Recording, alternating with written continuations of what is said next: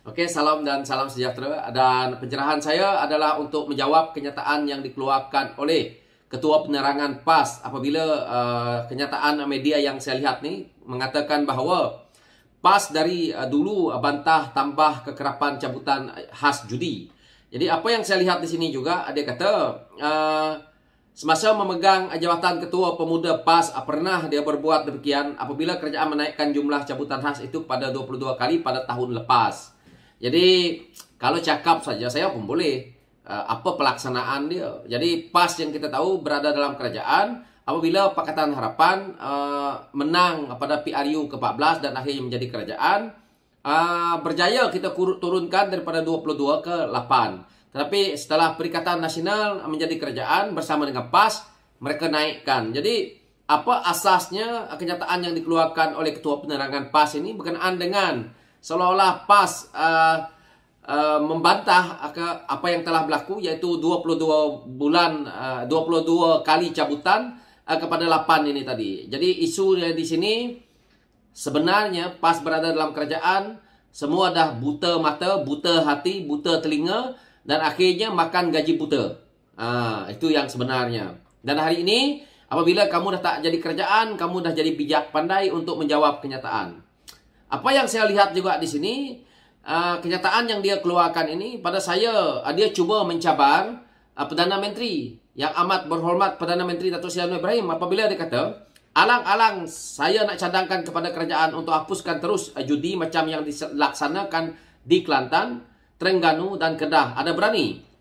Uh, ini satu soalan yang pada saya, saya nak beritahu kepada Ketua Penerangan PAS ni, bahawa kenyataan kamu ni satu perkara ini negara Malaysia yang mana negara ini uh, diduduki oleh berbagai kaum. Jadi kalau kamu mainkan isu ini, dia akan pergi kepada seolah-olah kamu akan uh, mulanya daripada judi, tapi dia akan pergi kepada hak-hak uh, kaum lain ataupun hak-hak mereka yang uh, bukan beragama Islam. Yang mana apabila kamu nak cerita tutup saja ni, kamu cerita seolah-olah uh, PH itu ataupun Perdana Menteri itu kamu cabar. Uh, ini yang saya kata, apabila dia kata seperti ini, dia kena ingat bahawa Malaysia ini bukan milik PAS. Jadi berbilang kaum yang ada. Dan uh, kerajaan ni, uh, Malaysia ini tertubuh pun daripada MA63. Jadi janganlah begitu dangkal ataupun sangat bodoh kenyataan dikeluarkan wahai uh, Ketua Penerangan PAS.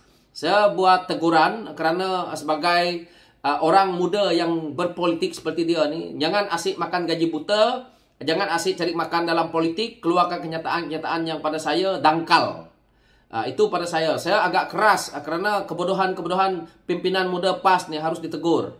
Uh, jadi, kena ingat, uh, kalau kamu nak berdebat pun boleh. Uh, kerana kenyataan-kenyataan yang kamu keluarkan, kenyataan-kenyataan yang kamu seperti uh, apa tu mencabar uh, yang amat berhormat Perdana Menteri untuk menutupkan judi ini. Bukan saya nak menggalakkan judi. Tetapi kita mendapat impak, kita mendapat uh, juga uh, keuntungan daripada judi ini iaitu daripada cukai dia. Walaupun dia tidak dialirkan, uh, dia ada cabang lain untuk kita kumpulkan hasil cukai judi ini, tetapi dia ada manfaat kepada benda lain.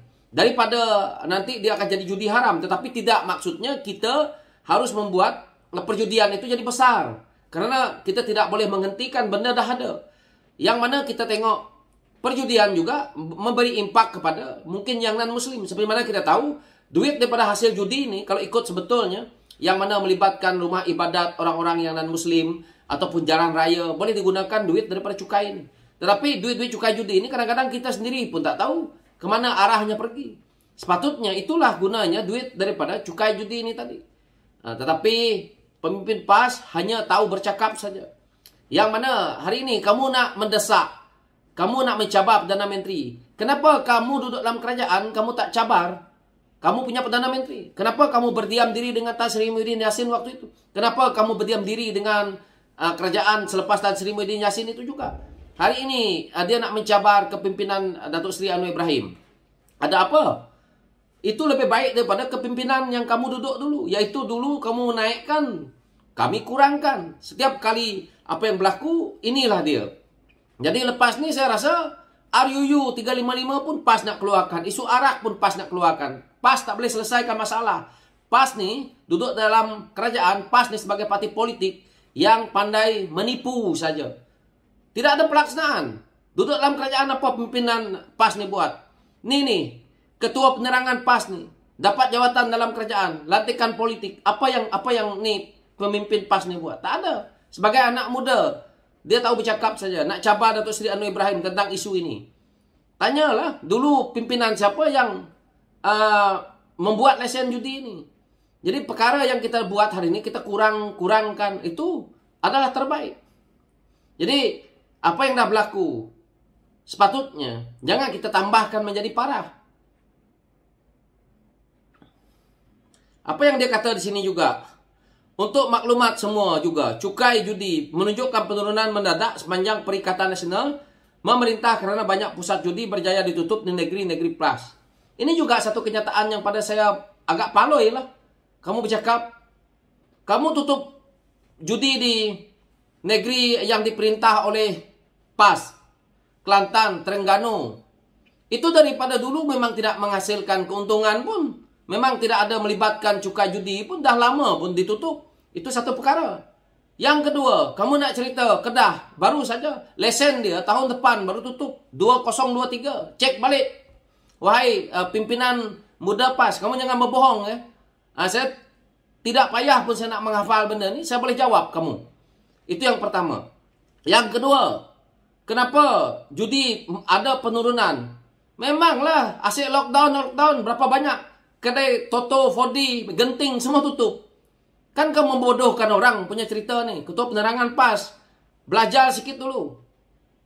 Nak bercakap, belajar sikit dulu. Lockdown, genting tutup. Kedai 4D semua tutup. Memang turunlah. Ha. Kamu buatlah cabutan 100 kali pun tidak akan menambahkan apa-apa kerana tak ada dibuka. Semua judi tutup. Ha. Jadi apa dia? Apa dia yang pas nak cerita ni? Membohong orang. Ha. Jadi tidak ada yang menurun atau tidak ada yang menaik. Kalau kalau lah ekonomi waktu itu eh, terbuka ataupun seperti ada hari ini, saya percaya peningkatan mendadak lah. Dah dinaikkan daripada 8 ke 22, macam mana tak akan naik? Naik lah. Lepas tu genting buka. Hari ini, ah, memang ada penaikan kerana dia dah normal.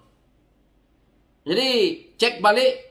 Kalau kata saya salah, jadi apa yang ketua penerangan PAS cakap? Inilah yang saya kata. PAS hanya tahu bercakap, dia tidak buat analisa, tetapi cuba putar berlitkan fakta. Jadi rakyat pun keliru. Jadi jangan percaya. Kerana apa yang dia nak katakan ini, kalau kita buka contohnya harakah, semua kerja dia menghentam kerjaan. Jadi kerja dia mencari, kalau dia buat check and balance apa. Tapi benda yang baik pun dia bangkang. Ini tengok contoh judi. Orang turunkan 8 yang kau pergi bantah. Kenapa? Biarkanlah. Kan dah bagus turun 8. Apa yang masalah dengan PAS ni? Inilah pimpinan PAS ni yang pada saya memang betul-betul. Uh, saya memang kritik habislah ketua penerangan PAS ni. Jadi ketua penerangan PAS yang baiklah. Saya jadi ketua penerangan PKN negeri pun lebih baik daripada ketua penerangan pusat PAS ni. Yang pada saya agak dangkal kenyataan dia. Nak menjawab kenyataan. Nak membidas kenyataan dengan cara tidak logik. Itulah. Jadi ada logik tak yang dia jawab? pas waktu dalam kerajaan waktu pimpinan PN tak men, uh, meningkat cukai ataupun meningkat kutipan judi. Macam mana nak naik? Bos dia, abah kau, tutup buka, tutup buka. Lepas tu kedai judi memang takkan buka-buka. Lepas tu genting tak buka-buka. Memang bengong lah. Itulah ceritanya. Jadi, saya harap ketua penerangan PAS sebelum nak bercakap, fikir, buat kajian, supaya tak diketawa oleh netizen. Itu saja pencerahan saya. Sekian, terima kasih.